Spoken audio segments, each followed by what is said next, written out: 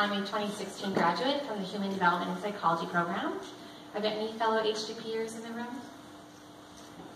No, it's so lonely, maybe one. Well, hello. So I'm also the founder of Relationshift. And I founded Relationshift at the Harvard Innovation Lab this summer. And the reason I founded Relationshift is the same reason I came to Harvard. And that is because I've worked with hundreds of survivors of relationship and sexual violence. And I've also had many friends and family members who've been directly affected by relationship and sexual violence, by sexual bullying, sexual assault, etc. And what I had observed is that the impact is devastating. And that our reactions as society, as educators, isn't enough. So a lot of you probably know that we're beginning to have this conversation at the university level. This is just kind of emerging thing, It's On Us campaign. And a lot of this is happening because of the Office of Civil Rights and the federal government is making us talk about it. You also probably know that we're not really talking about it in middle and high school. And part of the reason I think that is, is it's hard to name. So we have sexual harassment, we have sexual bullying, we have cyberbullying, we have sexual assaults, we have relationship violence. Sometimes it's emotional, sometimes it's verbal, sometimes it's physical. And there isn't one umbrella term that discusses or names all these behaviors. And Title IX talks about it, so what we've heard so far is what can happen to you and how you might um, better prepare yourself for post But in middle and high school, and even at the upper education level, we don't really have a way to measure this, right? We're not really looking at it.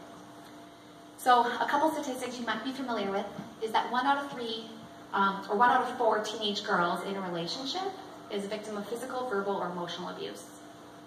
We also know that individuals aged 12 to 19, which is our middle and high school college students, experience the highest rates of sexual assault and stalking out of the entire US population. We also know that most violent behavior begins when around 12 to 18 years old. And many of us are figuring out our identities, figuring out our relationships, learning all this stuff at that young age. But we're not having these conversations, if we have them, until we get to college. So I'm here urging you to consider this in your education at HGSE and in your role as educators.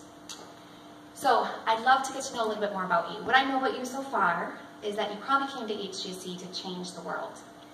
You probably didn't come here to get rich and famous. If you did, I'm really sorry to let you know that may or may not happen. Mm-hmm. so you probably want to do good.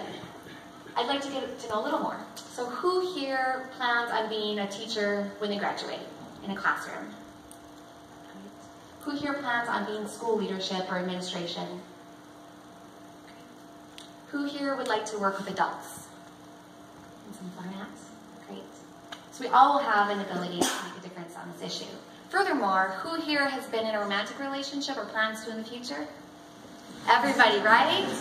Who here is a parent or, you know, plans to be a parent, has a child, has a friend?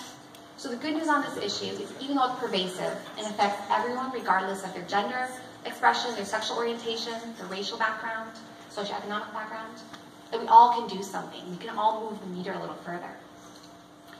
And I also want to give you a little more data on how schools are responding. So in a survey of school counselors, who generally are considered the experts in the school on sexual relationship violence, like the person you'd send that kid to, over 80% did not feel equipped to handle these issues. So even our counselors don't know about this. And I want to ask, with a big proud show of hands, who here has received a professional training on how to prevent these issues in your schools or in your workplace? So I count maybe like 15, right? Who here knows somebody who's experienced these problems in their life? Probably everybody. So the disconnect between how many feel prepared to have training and how many know somebody who's been affected is really great.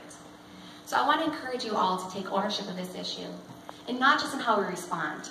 So when someone comes to us, we want to say, tell me more, I'm here for you. And not just how we handle perpetrators or allegations, but creating an entire culture and environment where nobody is motivated to perpetrate these acts. Nobody is motivated to have sexual cyberbullying.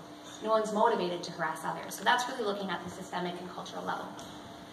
And I want to encourage you during your very, very precious and limited time here at HGSE to advance your knowledge. So maybe you already know about this, this is your old hat, this is your passion. Great, there are ways for you to develop further.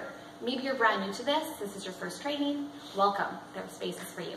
So Micah talked about OSAPR, Bridget here is with Title IX, um, we have a lot of local activities and events here in the Boston, Cambridge area. And I want to formally invite you to Harvard's first ever groundbreaking symposium called Name It, Face It, End It. It's going to be happening in about two and a half weeks here in Askwith and moving over to Gutman. And it'll be a whole different um, panel and different sessions on relationship and sexual violence. Rachel will be talking about sex ed with a renowned scholar in sex ed and ethics. Jamarcus will be coming. Maybe we'll have Jamarcus doing something. Yeah. Micah will be speaking. So it'll be a really great way to build your skills. Um, see if there's anything else. But uh, I also just want to encourage you to just, wherever you are, to, to own this and to really believe that relationship and sexual violence is not inevitable, and that as humans we are ultimately peace-seeking, and that this can be something of the past. So I want to invite you in that process. So this is the end of the formal presentation. I'd like to invite Rachel and the